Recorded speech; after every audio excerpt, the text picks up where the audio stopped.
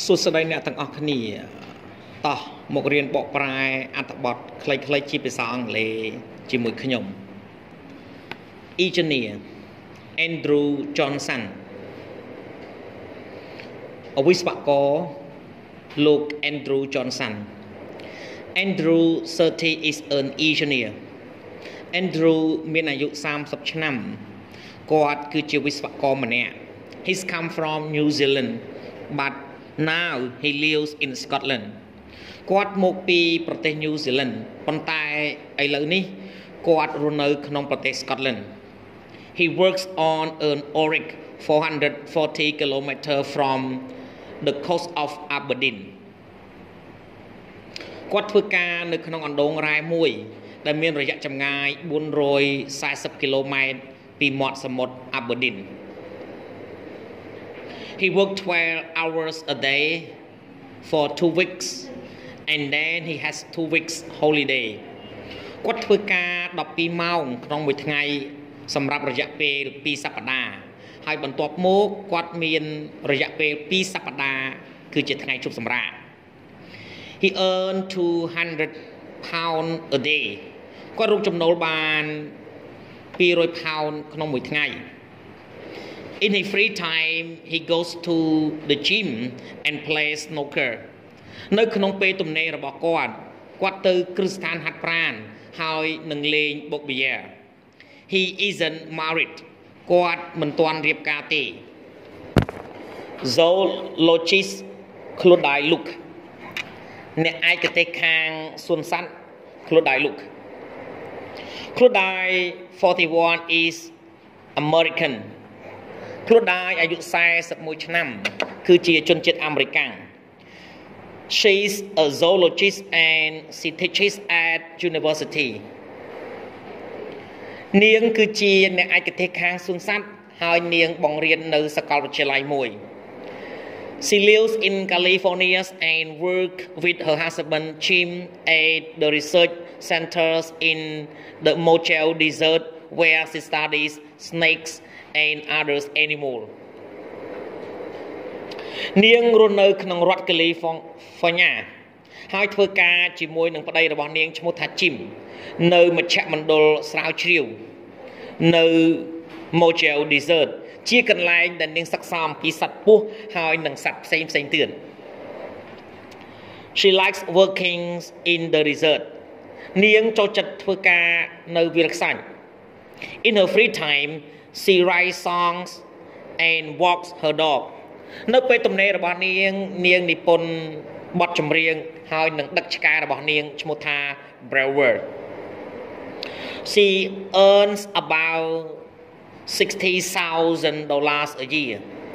នាងរកចំណូលបាន ប្រហែលជា60,000ដុល្លារក្នុងមួយឆ្នាំ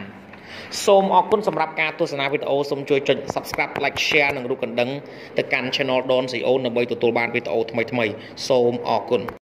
សួស្តីអ្នកទាំងអស់គ្នាតោះមករៀនបកប្រែអត្ថបទខ្លីៗជាភាសាអង់គ្លេសជាមួយខ្ញុំ Babber Ali He's 16 years old and he's a head teacher គាត់មានអាយុ16ឆ្នាំហើយគាត់គឺជានាយកសាលាម្នាក់ Babber Ali come from West Bengal in India Babber Ali មកពី West Bengal នៅក្នុងប្រទេសឥណ្ឌា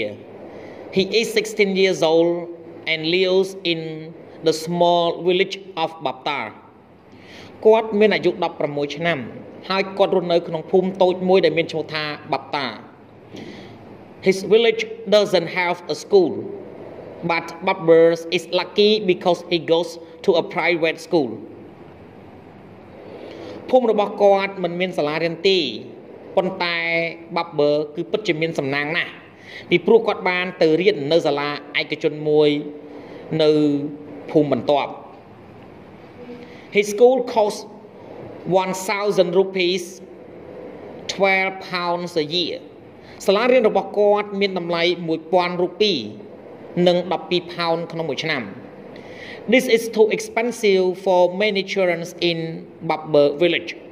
but they want to learn so Babber teaches them everything that he learns នេះគឺពិតជាមានតម្លៃថ្លៃណាស់សម្រាប់ក្មេងៗជាច្រើន នៅក្នុងភូមិរបស់ Bubber ប៉ុន្តែពួកគេចង់រៀន ដូច្នេះ Bubber បានបង្រៀនពួកគេ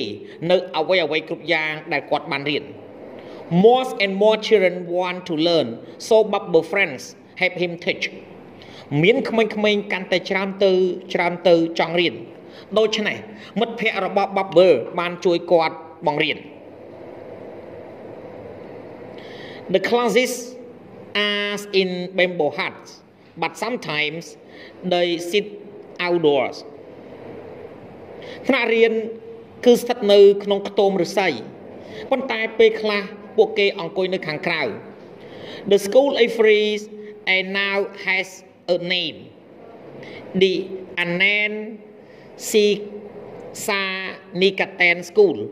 and Bubbers is the head teacher សាលារៀនគឺមិនគិតថ្លៃនោះទេហើយឥឡូវនេះសាលារៀនមានឈ្មោះហើយ គឺមានឈ្មោះថា The Anand Siksa Nikaten School ហើយ Bubber គឺជានាយកសាលា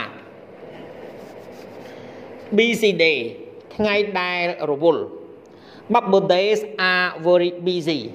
ថ្ងៃរបស់ Bubber គឺពិតជារវល់ខ្លាំងណាស់ He has no free times គាត់មិនមានពេលទំនេរឡើយ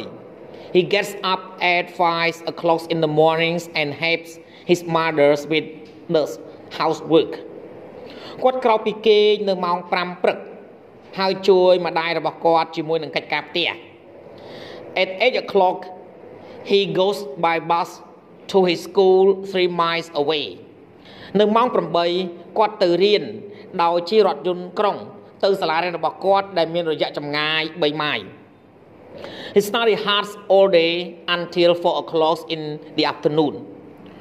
គាត់ខំសិក្សាពេញមួយថ្ងៃរហូតដល់ម៉ោង4រសៀល Then he traveled back to his village and at 5 o'clock he begins the classes បន្ទាប់មកគាត់បានធ្វើដំណើរត្រឡប់ទៅភូមិរបស់គាត់វិញ ហើយនៅម៉ោង5គុណគាត់បានចាប់ផ្ដើមថ្នាក់រៀន